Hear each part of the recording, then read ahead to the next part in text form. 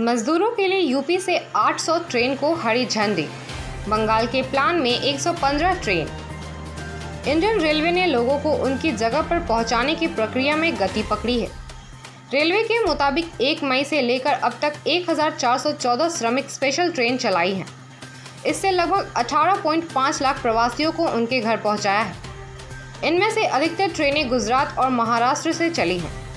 Railway ने कहा है कि लगभग 116 ट्रेन और चलाए जाने की प्रक्रिया में है।